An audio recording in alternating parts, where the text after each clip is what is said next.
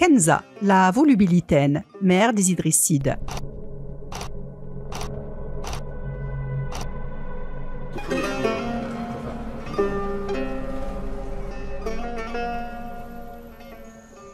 C'est la fille d'un puissant chef de tribu amazir établi anciennement dans le Zarhoun.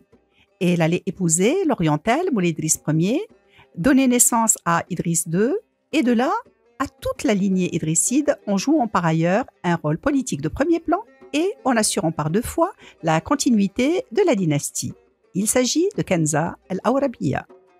Son nom ethnique fait référence à la tribu d'origine, dite initialement Iwraben, appelée selon la forme arabisée Auraba, par contraction Werba. Selon la tradition ancienne, les Auraba, branches des Planes, seraient arrivés en extrême occident en l'an 69 de l'Égypte, soit 686 de l'ère commune, dans la lancée de la conquête musulmane suite à la défaite de leur chef Kosaïla contre l'armée omeyyade dirigée à l'ouest de Kérouan par Zuhair ibn Qais al-Balawi. D'autres auteurs, quant à eux, situent l'origine des Auraba au Maroc à une date bien plus ancienne.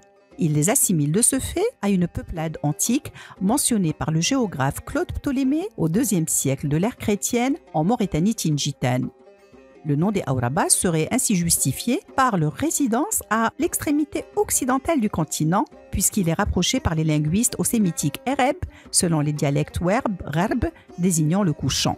Quoi qu'il en soit, les Aurabas étaient classés au rang des tribus les plus importantes pendant la conquête musulmane. Leur territoire est identifié, selon le professeur Mohamed Mezzine, entre le couloir de Taza à l'est, la montagne du Zarhoun à l'ouest et le pays de Loira au nord et c'est dans ce pays qu'Idriss II les retrouvera au IXe siècle. Au nombre de leurs ramifications détaillées par Ibn Khaldoun dans son Kitab al-Ibar, on peut citer sur les rives du fleuve Oura les Sta ou les Mziata, dans la haute vallée d'Oued Lben, les Ljaya ou les Riwa, sans oublier les Jehjouka près d'Oued Lokos, dans les environs de Qsar al-Kibir, pour ne parler que de ces tribus qui en forment d'importantes branches. Mais c'est dans le Zarhoun que les Auraba étaient particulièrement marquants, précisément à Welili, Volubilis, capitale du roi berbère Juba II, puis grande cité romaine de la Mauritanie tingitane, devenue leur fief et une des plus importantes villes du Maroc. Le chef de la tribu était Ishaq ben Mohammed ben Abdelhamid al-Aurabi, auquel nous avons déjà consacré un portrait. Comme le laisse entendre sa filiation, il était musulman de père en fils et adepte, selon les chroniques médiévales, de l'école rationaliste des Mu'tazila. D'après différents récits, c'est bien lui, le père de Kenza. Dans cette florissante et antique cité de Walili, appelée de là par les Romains par adjonction de la terminaison latine volubilis, la maison d'Ishaq accueille en 788 un rescapé oriental appartenant à la maison du prophète. Il s'agit d'Idris, fils de Abdullah al-Kamil, fils de Hassan al-Mutanna, fils de Hassan al-Sibt, fils de Ali et de la Fatim Zahra. Son compagnon et protecteur est Rachid, présenté par certains auteurs comme étant également de la tribu des Auraba, voire même comme étant le fils d'Ishaq et donc le frère de Kenza. Il avait aidé en tout cas Idriss le long de sa fuite d'Orient jusqu'à le mener à bon port en Occident extrême après qu'il ait échappé au massacre d'Al-Fakhr près de la Mecque et à la persécution abbasside contre les descendants de Ali. Le quatrième jour du mois de Ramadan de l'année 172 de l'Égypte, correspondant au 6 février 789, Moulay Idriss est proclamé imam par les Auraba suivi par des délégations de tribus venues lui apporter l'allégeance, donnant naissance à la première dynastie alide de l'histoire, indépendante du pouvoir califal en Orient. Pour sceller cette union par des liens de sang, Idriss avait épousé la fille d'Ishaq Kenza al-Awrabiya. Certains auteurs attribuent à Kenza une origine berbère nefzaouienne, voire même gothique, dans la lancée de Hassan al-Wazzan, dit Léon l'Africain. D'autres ont fait de Kenza une simple concubine et servante, et non une épouse et femme libre, ce qui concorde mal avec la stature de Moulay et avec les enjeux que représentait une telle alliance matrimoniale entre le nouvel arrivant appartenant à Ahlul Bayt et la tribu Amazir Haute, dont les membres lui ont cédé la direction à la fois spirituelle et temporelle.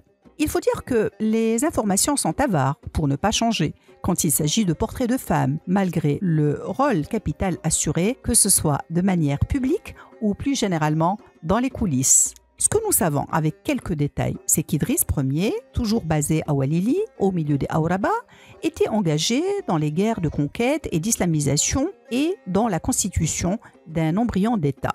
C'était sans compter son la vindicte du calife abbasside Haroun al-Rachid qui l'a poursuivi jusqu'ici. Malgré la vigilance de Rachid, un émissaire venu d'Orient a réussi à assassiner Moulay Idriss après un court règne en lui faisant don d'un poison sous forme de parfum. Kenza était alors enceinte de quelques mois. Si le calife de Bagdad espérait éradiquer cette lignée, c'était pour le moins un échec. Kenza met bientôt au monde Idriss II, dit Al-Asrar, par distinction de son père appelé Al-Akbar.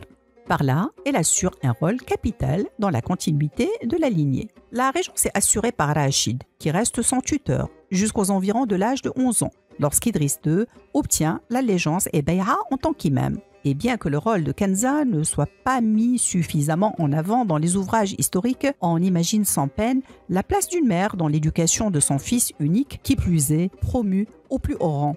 Il s'agit, en plus, dans ce cas de figure précis, de la protection contre tous les dangers qui guettaient et de la préparation aux responsabilités bien vite assumées à la tête de l'État. Dans ce sillage, Kenza suit le déplacement du centre du pouvoir de Walili Hafez, dont son fils a fait sa capitale et siège de son gouvernement, enrichi progressivement par de nouveaux arrivants venus d'Andalousie ou de Kérouan. Zarhoun, lieu de sa naissance, était décrite comme étant trop petite désormais, à moins qu'il ne s'agisse d'un désir volontaire de rupture avec le vieux volubilis où l'aventure idrisside avait commencé chez les Aouraba les traces de Kenza disparaissent momentanément dans les récits pour ressurgir avec force à la mort de son fils Idriss II en 213 de l'Égypte, soit 828 de l'ère commune, l'héritier du trône et le petit-fils de Kenza, Mohamed Ben Driss, successeur de son père avec Fès pour résidence. Les récits sont unanimes à affirmer qu'elle a proposé de nommer ses frères, chacun à la tête d'une province du royaume. Comme les autres frères sont présentés comme mineurs, huit avaient été désignés, chacun par son frère aîné Mohamed, à la tête d'une province qu'ils ont administrée en son nom la demande de la grand-mère Kenza. C'est dire d'abord son rôle de conseillère qu'elle avait certainement joué auparavant auprès de son fils Idriss II et probablement auprès de son époux Idriss Ier, somme toute arrivé en étranger malgré ses origines et toute la protection et l'adulation dont il bénéficiait. Ce qui est vu comme une partition du royaume entre les fils d'Idriss II serait tout au plus un découpage administratif expliqué par le souci de faciliter la gestion de l'État et d'assurer une force politique face aux menaces extérieures, sinon pour contenir les appétits de domination et pour calmer les éventuelles rivalités entre frères et prétendants.